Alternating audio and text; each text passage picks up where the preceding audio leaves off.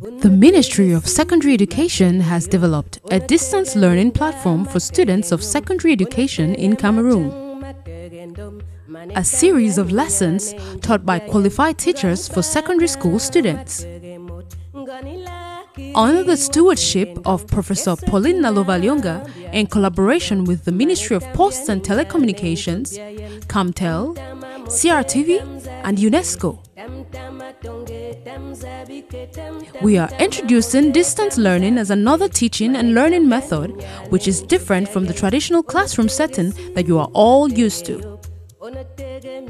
In the distance education mode, you are not with the teacher in person, so take your time, relax, listen to the teacher, take down notes, and visit the following links for any questions or answers to your questions.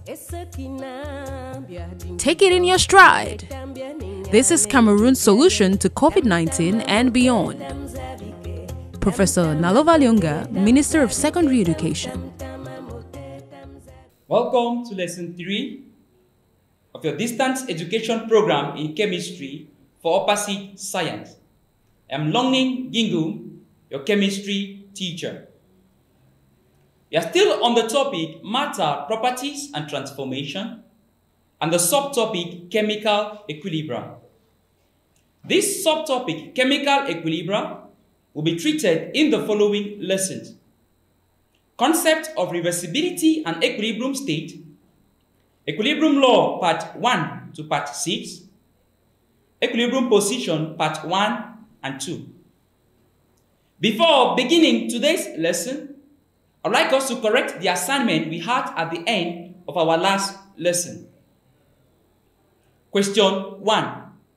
Sulfur dioxide reacts with oxygen in a sealed vessel to form sulfur trioxide. The equation of the reaction is 1 mole of sulfur dioxide gas reacting with half moles of oxygen gas are in equilibrium with 1 mole of sulfur trioxide gas. A. Write an expression for the equilibrium constant Kc and B. Determine the unit of Kc. Solution. Write an expression for the equilibrium constant Kc for the reaction where 1 mole of sulfur dioxide gas reacting with half moles of oxygen gas are in equilibrium with 1 mole of sulfur trioxide gas. Write the equilibrium expression. Based on the equilibrium law, equilibrium constant Kc is equal to molar concentration of sulfur trioxide at equilibrium divided by molar concentration of sulfur dioxide at equilibrium times molar concentration of oxygen at equilibrium raised to the power half. B. Determine the units of Kc. Substituting molar concentrations in the equilibrium equation with their unit, we have unit of Kc is equal to moles per cubic decimeter divided by moles per cubic decimeter times moles per cubic decimeter raised to the power 2. Simplifying, we have units of Kc is equal to 1 divided by moles per cubic decimeter raised to the power half. Simplifying further, we have units of Kc is equal to moles per cubic decimeter all raised to the power negative half. Applying laws of indices, we have units of Kc is equal to mole raised to the power negative half dm to the power 3 divided by 2. Question 2. In an experiment, hydrogen and bromine were mixed in a closed vessel at 723 Kelvin and allowed to reach equilibrium. If at equilibrium, the mixture contained 0.258 moles of hydrogen bromide, 0.077 moles of hydrogen gas, and 0.015 moles of bromine, A. Write the equilibrium equation of the reaction. B. Calculate the value of the equilibrium constant. C. Determine the unit of the equilibrium constant. 2a. Write the equilibrium equation of the reaction. Based on the equilibrium law, equilibrium constant Kc is equal to molar concentration of hydrogen bromide at equilibrium raised to the power 2 divided by molar concentration of hydrogen gas at equilibrium times molar concentration of bromine at equilibrium. B. Calculate the value of the equilibrium constant.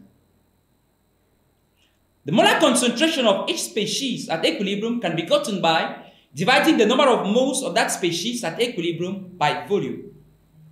In this question, the volume will cancel out because number of moles of product molecules is the same as the number of moles of reactant molecules.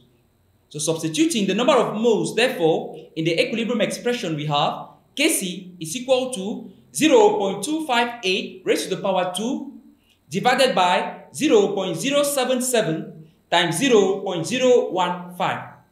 Simplifying, we have Kc is equal to 57.63.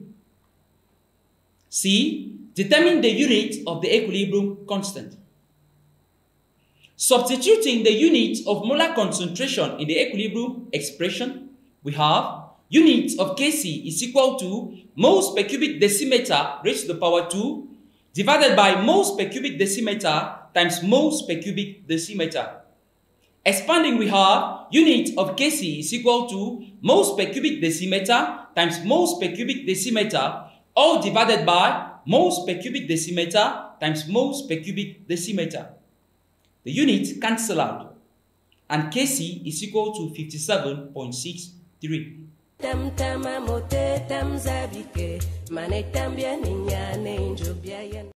Today's lesson is titled The Equilibrium Law Part 2. The outline of this lesson is as follows.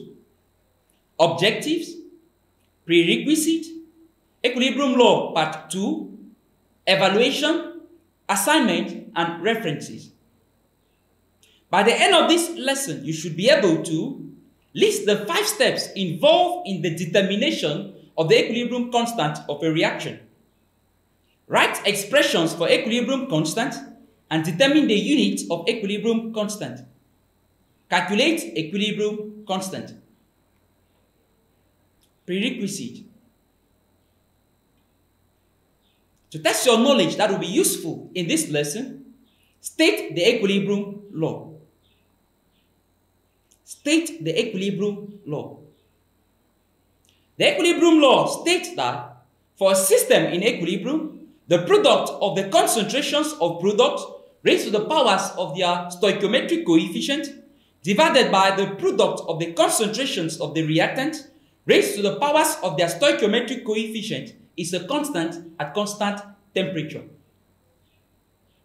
Determination of equilibrium constant. The equilibrium constants of chemical reactions are determined following the steps below. These are write a balanced equation for the reaction Mix known amounts of reactants or product and allow the mixture to reach equilibrium. Determine the equilibrium concentrations of at least one substance in the equilibrium mixture. Deduce the equilibrium concentrations of the other constituents in the mixture. Substitute the equilibrium concentrations in the expression for Kc and calculate Kc. It is important to note that Equilibrium concentrations can be determined by titration, colorimetry, and many other methods. Determination of equilibrium constant Kc of the reaction between hydrogen and iodine. Hydrogen and iodine always react in a closed system to establish an equilibrium with hydrogen iodide gas. To determine the equilibrium constant of this reaction, Known masses of iodine and hydrogen or hydrogen iodide are placed in a sealed tube and heated at 450 degrees Celsius until equilibrium is attained. The equilibrium mixture is frozen by rapid cooling at equilibrium. The amount of iodine and equilibrium is determined by titrating the equilibrium mixture with a standard solution of sodium thiosulfate using starch as indicator. If the initial amount of hydrogen is A mole, the initial amount of iodine B mole, and assuming that the amount of each species that reacted at equilibrium is X moles, therefore, the amount of each of the species remaining at equilibrium can be determined using the technique below. Initially, we had A moles of hydrogen gas, B moles of iodine, and zero, there was no hydrogen iodide present. If X moles of hydrogen reacted at equilibrium, therefore X moles of iodine also reacted to form 2X moles of hydrogen iodide. Notice that the ratio, the, the, the ratio of the amount that reacted at equilibrium is exactly the same as the stoichiometric coefficient in the reaction. We have 1 to 1 to 2. The amount remaining at equilibrium, therefore, for hydrogen will be A minus X moles, for iodine, B minus X moles. Now, this is because the reactants are used up in the course of a reaction, and so the amount reduced. That is why we need to subtract the amount that reacted from the initial amount to have the amount that, that are remaining at equilibrium. The amount of product hydrogen iodide remaining at equilibrium will be 0 plus 2x. The products are formed at equilibrium, so the amount increased. Assuming that the volume of the equilibrium system is V, the molar concentration of the species at equilibrium can be gotten by dividing, by dividing their number of moles at equilibrium by the volume. Therefore, number of moles of uh, molar concentration of hydrogen at equilibrium will be x minus a minus x divided by v, which is the volume. Molar concentration of iodine at equilibrium will be b minus x divided by v. And molar concentration of hydrogen iodide at equilibrium will be 2x divided by v. Substituting in the equilibrium expression where Kc is equal to molar concentration of hydrogen iodide at equilibrium raised to the power 2 divided by molar concentration of hydrogen gas at equilibrium times molar concentration of iodine at equilibrium and simplifying we will have the value of the equilibrium constant Kc for the reaction. Example 1. In an experiment, 0.206 moles of hydrogen and 0.144 moles of iodine were heated at 723 Kelvin in a closed vessel and 0.258 moles of hydrogen iodide were formed. Calculate the equilibrium constant. Solution. Since the equilibrium amount of all the species have not been given, we are going to use this technique to determine the equilibrium amount. Initially, we had 0.206 moles of hydrogen, 0.144 moles of iodine, and no hydrogen iodide. Assuming that at equilibrium, x moles of hydrogen reacted with x moles of iodine, then 2x moles of hydrogen iodide were formed. The amount of hydrogen remaining at equilibrium will therefore be 0.206 minus x. The amount of iodine will be 0.144 minus x, and hydrogen iodide will be 0.0 plus 2x. The amount, the equilibrium amount of hydrogen iodide given in the question is 0.258 moles. And that gotten from our technique, the number of moles at equilibrium of hydrogen iodide gotten from our technique is 0 uh, plus 2x. Equating 0 plus 2x to 0.258 moles, we have 2x is equal to 0.258. Simplifying, we have x is equal to 0.129 moles.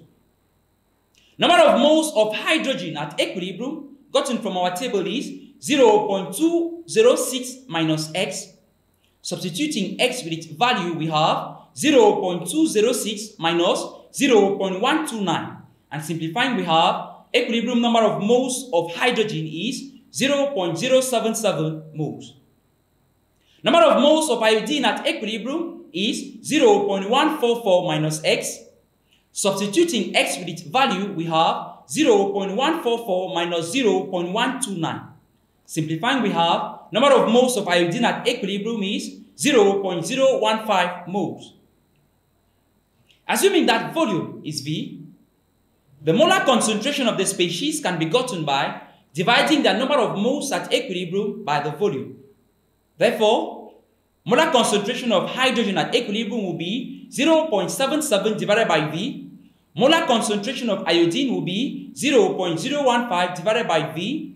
And molar concentration of hydrogen iodide at equilibrium will be 0.258 divided by V.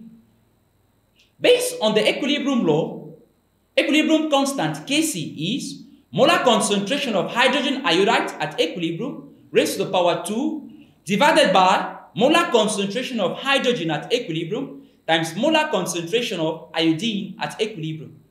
Now substituting molar concentration concentrations in the equilibrium equation with their values, we have Kc is equal to 0.0258 raised to the power 2 divided by 0.077 times 0.015. Notice that the volume V cancels out. So its number of moles of gaseous product the same as the number of moles of gaseous reactant. Simplifying, we have Kc is equal to 57.6. Kc also has no unit. So the true value of Kc is 57.6. Example 2. 2 moles of hydrogen and 1 mole of iodine were mixed together in a closed vessel at the temperature of 273 Kelvin and allowed to reach equilibrium. Calculate the equilibrium composition of the system, given that Kc is equal to 50. Solution. It's important to understand that equilibrium composition means number of moles of all the species in the system at equilibrium. I repeat, equilibrium composition means number of moles of all the species in the system at equilibrium. Since the equilibrium amount of all the species have not been given in the question, we are going to use this technique to determine the equilibrium amount of all the species. Initially, we had 2.0 moles of hydrogen, 1 mole of iodine, and no hydrogen iodide. Assuming that X moles of hydrogen reacted at equilibrium, therefore X moles of iodine also reacted to produce 2X moles of hydrogen iodide. Notice again that the ratio of the number of, of the amount that reacted at equilibrium is the same as the stoichiometric coefficient in the equation. The amount of hydrogen, therefore, remaining at equilibrium will be 2.0 minus x. Amount of iodine will be 1.0 minus x. An amount of hydrogen iodide formed at equilibrium will be 0.0 plus 2x.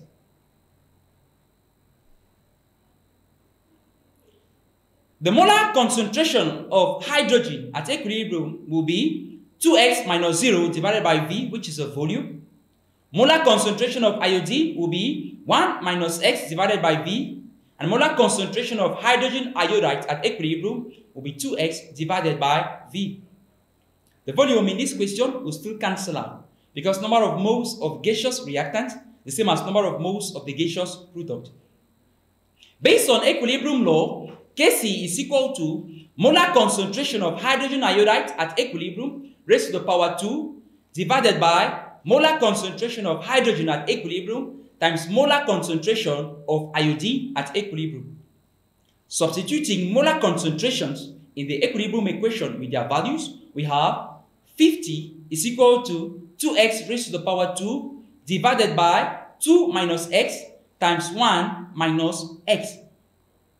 Simplifying, we have 50 is equal to 4x raised to the power 2 divided by 2 minus 3x plus x raised to the power 2. Rearranging, we have the quadratic equation 23x raised to the power 2 minus 75x plus 50 is equal to 0. Solving this equation by the quadratic formula method, where x is equal to minus b plus or minus the square root of b raised to the power 2 minus 4ac divided by 2a.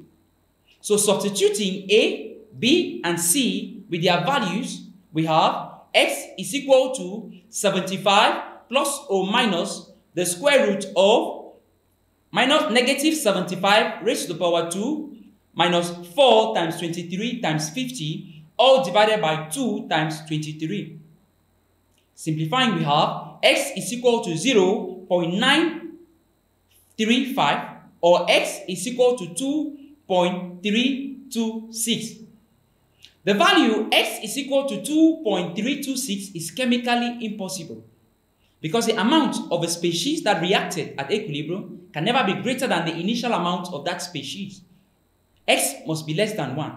And so the true value of x is 0.935 moles. The number of moles of hydrogen at equilibrium is 2.0 minus x. If we substitute x with its value, we have number of moles of nitrogen, of hydrogen at equilibrium is 2.0 minus 0.935. And simplifying, we have 1.065 moles. Number of moles of iodine at equilibrium is 1.0 minus x. Substituting x with its value and simplifying, we have number of moles of iodine at equilibrium is 1.0 minus 0.935, which gives us 0.065 moles. Number of moles of hydrogen iodide at equilibrium is 2x. Substituting x with its value, we have 2 times 0.935. And simplifying, we have number of moles of hydrogen iodide at equilibrium is 1.87 moles. It is important to remember that equilibrium reactions have a quotient referred to as the equilibrium constant, which indicates the extent of conversion of reactants to product. Equilibrium constant can be determined experimentally.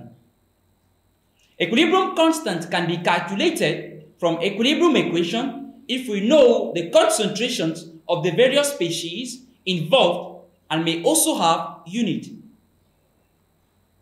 Evaluation. To know how well you have followed this lesson, answer this question. One mole of a chemical D and 0.75 moles of another chemical E were placed in a 1 dm cube vessel and allowed to reach equilibrium at a certain temperature, as shown by the equation, where 2 moles of species D reacting with 1 mole of species E and in equilibrium with 1 mole of species F. Given that the amount of D and E at equilibrium were found to be 0.70 moles and 0.60 moles respectively, calculate the equilibrium constant Kc. Since the equilibrium number of moles of all the species have not been given, we use this technique to determine the equilibrium amount of all the species. Initially, we had 1 mole, uh, 1 mole of species D, 0.75 moles of species E, and no moles of species F.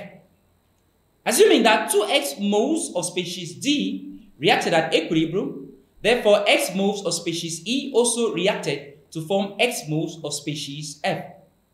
Remember that the ratios of this amount is the same as the ratio of the stoichiometric coefficients in the equation. The amount of species D remaining at equilibrium, therefore, will be 1.0 minus 2x. The amount of species E will be 0.75 minus x and the amount of species f will be 0.0 plus x. Now, the equilibrium amount of species D given in the question is 0.70 moles. So equating this to that obtained from our technique, we have 1.0 minus 2x is equal to 0.70. Simplifying, we have 2x is equal to 1.0 minus 0.70 and x is equal to 0.15 moles. Number of moles of species F at equilibrium is x. Substituting x with its value, we have number of moles of species F at equilibrium is 0.15 moles. Now, assuming that the volume, or given that the volume is 1 cubic decimeter, molar concentration of the species at equilibrium can be gotten by dividing the number of moles of the species at equilibrium by the volume. Therefore, the molar concentration of species F at equilibrium is 0.15 mole divided by 1 cubic decimeter. Simplifying, we have molar concentration of species F at equilibrium is 0.15 moles per cubic decimeter. Molar concentration of species E at equilibrium is 0.60 moles divided by 1 cubic decimeter. Simplifying, we have molar concentration of species E at equilibrium is 0.60 moles per cubic decimeters. molar concentration of species D at equilibrium is 0.70 moles divided by 1 cubic decimeter.